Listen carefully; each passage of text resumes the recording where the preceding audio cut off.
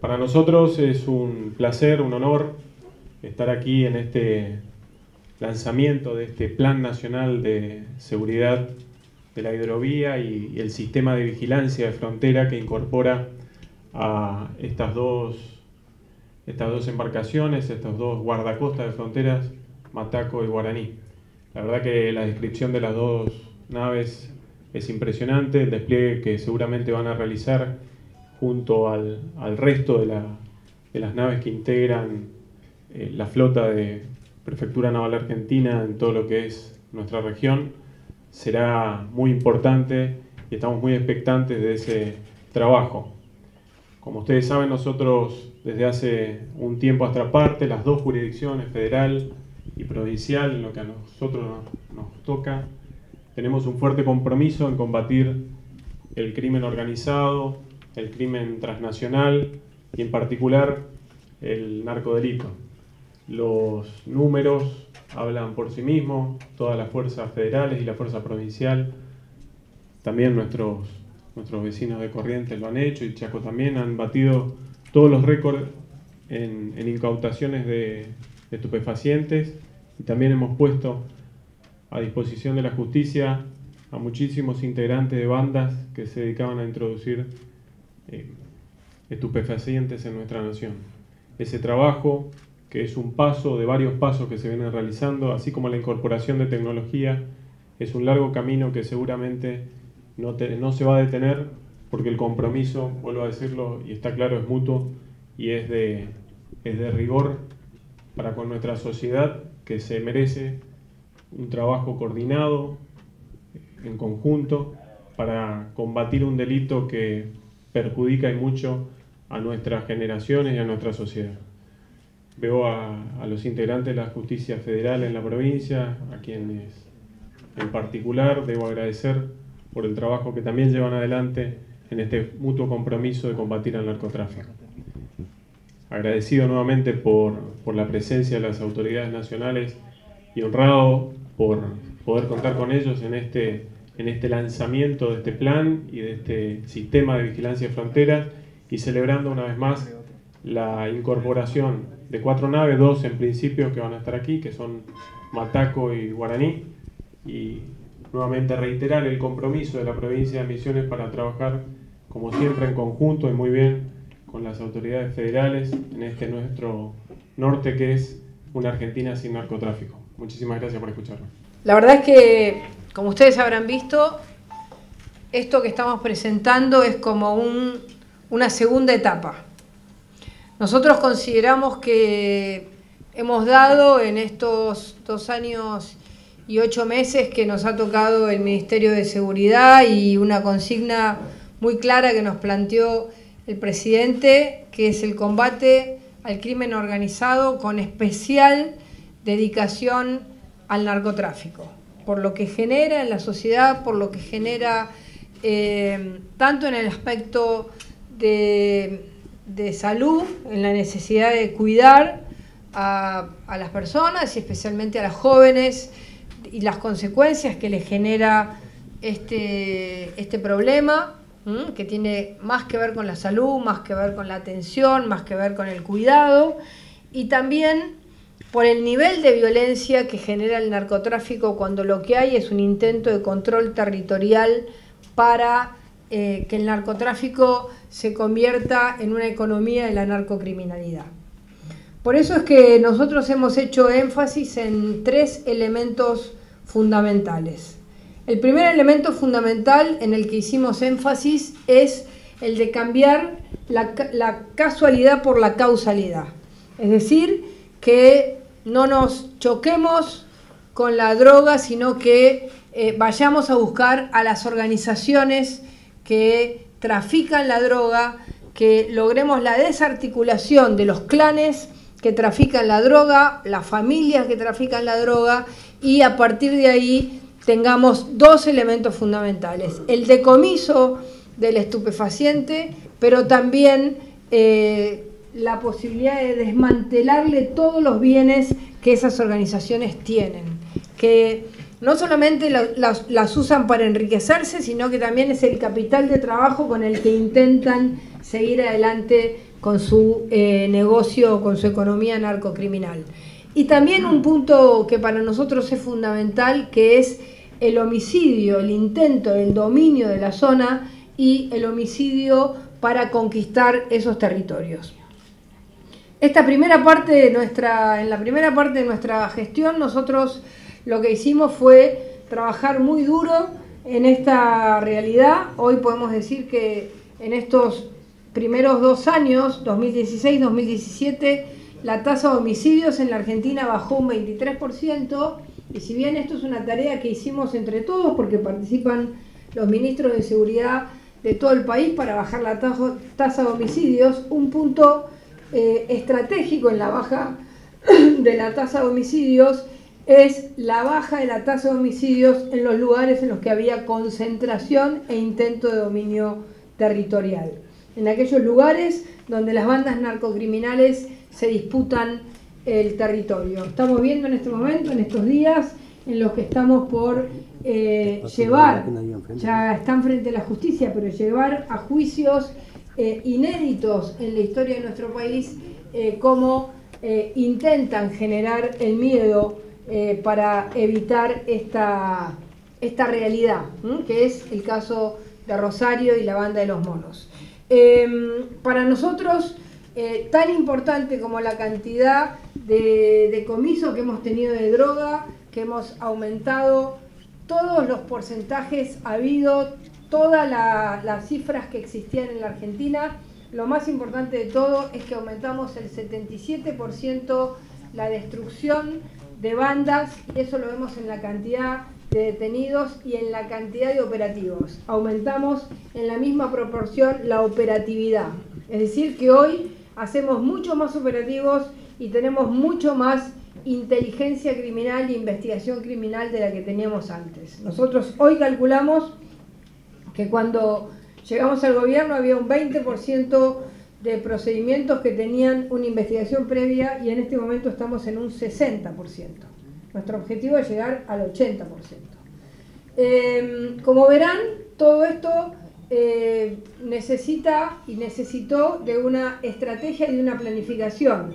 La primera parte la hicimos con todos los medios con los que contábamos y los que pudimos ir incorporando en los, en los, en los siguientes años. Pero todo esto tiene una planificación estratégica que eh, implica un cambio estratégico en la forma en que la Argentina controla su frontera. Fíjense ustedes, y esto le quiero agradecer especialmente al doctor Foric, que, eh, cuya secretaría está a cargo del montaje de estos sistemas complejísimos, con todo lo que significa la tarea de, montar cuatro centros inteligentes de frontera. El primero lo tenemos en La Quiaca, el segundo lo vamos a tener en Aguas Blancas, el tercero en Salvador Maza y el cuarto en Iguazú, que ustedes ya vieron algunos de los adelantos que mostró Prefectura Naval Argentina en estos centros. Estos centros de frontera, unidos a los radares que ya existen, unidos a estas lanchas que son centros de comando y control, porque estas lanchas eh, o guardacostas inteligentes, para llamarlos de una manera, eh, digamos, más meritoria, tienen radares, tienen cámaras, tienen eh, sistemas de sensores, tienen sistemas de infrarrojos para operar a la noche. El otro día veíamos una imagen de uno de los guardacostas, que es el Mataco, porque es el que yo padrino tiene que haber sido, ¿no? Bueno, eh, que se ve una imagen a 4.000 metros, un bote que intentaba cruzar de manera transversal a 4.000 metros y eh, la rápida llegada del guardacostas inteligente impide, es decir, que los ojos de estos estos guardacostas van mucho más allá que eh, lo que naturalmente podíamos alcanzar. Esto significa que vamos a tener un nivel de, capacidad de control de nuestra frontera a partir de, esta, de estos elementos tecnológicos que generan una capacidad eh, muy superior a la que podíamos tener hace dos años y ocho meses atrás. Es decir, que por eso nosotros en este momento estamos haciendo la presentación de lo que nosotros llamaríamos la segunda etapa de nuestra gestión en la lucha contra el narcotráfico, contra la trata, porque acá esto también sirve para muchos otros delitos, contrabando, trata, todas las cosas que pasan en frontera, em, terrorismo.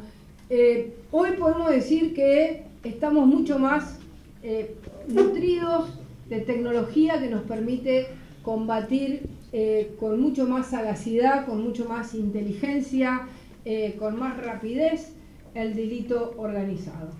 esto nosotros hoy lo, lo presentamos pudiendo a partir de esta nueva incorporación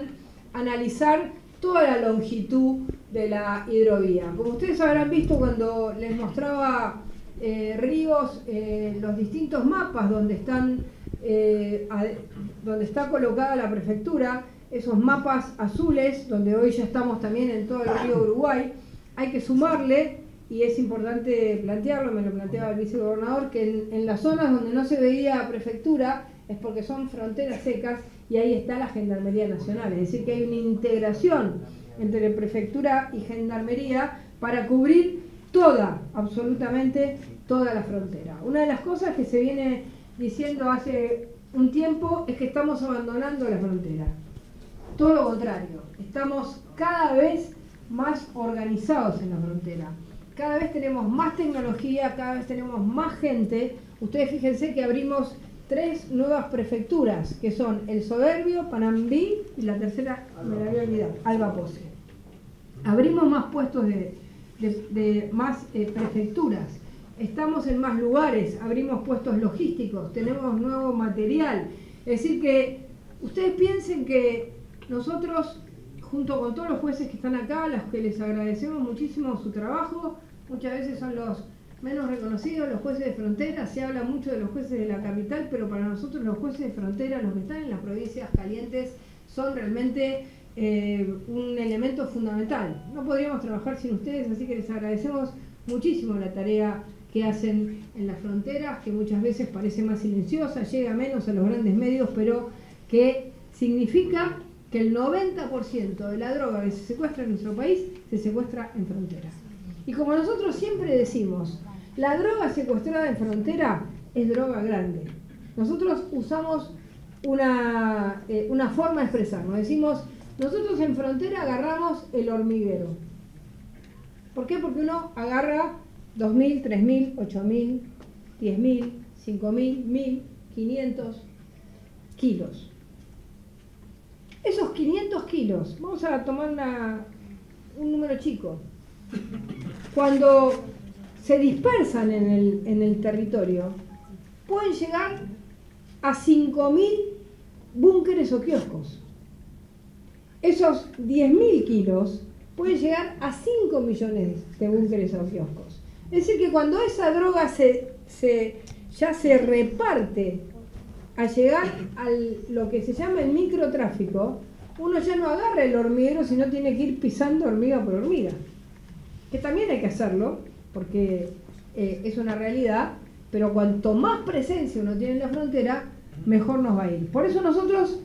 estamos fortaleciendo nuestras fronteras. Ahora, ¿cómo lo estamos fortaleciendo? Con una estrategia en la que no nos sorprenda el narcotráfico, sino que nosotros nos sorprendamos a ellos. Esta, esta gran tarea que hizo el equipo de la Prefectura Naval Argentina, viajando muchas veces a Israel, que logrando no comprar lo que venía, la lancha gris, sino generando eh, estos entornos en los que estos Yaldax o estos guardacostas inteligentes no se ven, no se ven, nos permite que nosotros trabajemos de manera mucho más inteligente. Y mucho menos nos van a ver a 4.000 metros, pudiendo llegar a ese lugar nada más que en unos minutos. Es decir, que la protección de nuestras fronteras, la posibilidad de cuidar más a nuestra población la posibilidad de que entre menos droga, a partir de esta incorporación de tecnología, de estos nuevos guardacostas inteligentes, a partir de los centros inteligentes de frontera, a partir de los radares que ya tenemos y nuevos radares, ya van a ver ustedes los aviones no tripulados o los drones no tripulados, lo que generan, y los radares terrestres que estamos incorporando, generan una Argentina que ha dado un salto enorme en la calidad en la frontera. ¿Qué significa esto? Que para nosotros la frontera es el núcleo central de nuestra lucha contra el narcotráfico, porque es acá donde nosotros vamos a parar la droga que intenta entrar de distintos puntos. Como ustedes saben, nosotros tenemos la desgracia de tener países que producen en nuestra propia frontera o muy cerca de nuestra frontera. Eh, tema que también va a entrar en discusión a partir de que comiencen compromisos más serios de esos gobiernos para comenzar a destruir las, eh, las siembras que tienen en sus territorios. Por eso nosotros esto lo planteamos como un segundo momento. Eh, nos dimos cuenta que era tanto lo que se secuestraba de droga en, la misma hidrovía, pensando desde nuestro kilómetro 1241 hacia abajo, o no sé si es el kilómetro 1249, desde el punto cero, digamos, de donde comienza la Argentina, hacia abajo, eh, es tan importante la cantidad que se secuestra que no podíamos no tener este, este segundo paso hacia una frontera inteligente. Por eso, hoy la presentación de este plan de hidrovías, eh, en el que ya se venía trabajando, como bien explicó el prefecto de zona, ya se venía trabajando en la hidrovía desde el primer día que comenzamos, pero ahora lo vamos a hacer de una manera mucho más fortalecidos, con mucha tecnología, con mucha más capacitación, con más efectivos, con efectivos preparados, tanto en la detección, en, estas naves, como en los nuevos grupos, con estos nombres de víbora, Yarará, Curiyú. Esperemos, esperemos que no nos agarren esos, esos grupos albatros. Em, realmente es una tarea muy importante. Esto además está complementado por lo que se va a presentar la semana que viene en otra zona de frontera con la Gendarmería Nacional Argentina, eh, con una presencia mayor de la Policía Federal que está eh, mucho más presente en estas zonas y con la tarea eh, que hoy hace la Policía de Seguridad Aeroportuaria. Ustedes saben que em, hay dos puntos estratégicos de entrada al país. El primero es, el aeropuerto de Ceiza. El segundo es el, puente de la triple frontera, el puente Tan, Tancredo Neves. Por eso es que para nosotros eh, toda esta, esta zona tiene además otros componentes importantes. Por ejemplo, la lucha contra el terrorismo, la lucha para que a la Argentina no entre eh, aquellos que en otros lugares del mundo, inclusive en nuestro país, hace casi hace 25 años, eh, golpearon contra nuestras instituciones. En consecuencia, ese también es un punto que está dentro de este plan, que no es Argentina sin narcotráfico, sino sin, terrorismo, que también lo tenemos como un objetivo, el control del el segundo punto más importante de entrada a nuestro país. A lo largo de toda esta frontera tenemos lo que se llaman, a ver, le podemos llamar puntos ilegales. En algunos casos son informales, en algunos casos son naturales, porque la misma naturaleza hace que haya puntos donde la gente cruza caminando, otros puntos donde cruza con un pequeño bote, otros puntos donde puede cruzar. Entonces, una de las cosas importantes es comenzar a eh, llevar lo que nosotros llamamos la operación embudo, que es que la gente tenga que cruzar por los puntos legales y que cada vez le, sea más difícil cruzar por estos puntos ilegales o informales. Así que el Ministerio de Seguridad, por decisión del presidente de la Nación, eh, por la firma de Argentina sin narcotráfico, en la que participaron los gobernadores, por la ayuda enorme que nos dan las provincias de nuestro em, eh, litoral, que nos da misiones, que siempre estamos agradecidos a la tarea que hace Misiones, que hace su gobierno, que hace su ministro y que se hace, hace su policía, a la provincia del Chaco, a la provincia de Corrientes y a la provincia de Formosa, que son las que están adentro de, esta, de este plan eh, nuevo de la hidrovía. Eh, les queremos agradecer este trabajo conjunto. Creemos que hemos logrado en seguridad, en la lucha contra el narcotráfico, contra el crimen organizado, una política de Estado y eso va a ser importante para para nosotros eh, y para todos, porque eso implica que en esto la Argentina tiene una sola dirección, que es no permitir que el narcotráfico se adueñe de un solo milímetro de nuestro territorio. Muchísimas gracias.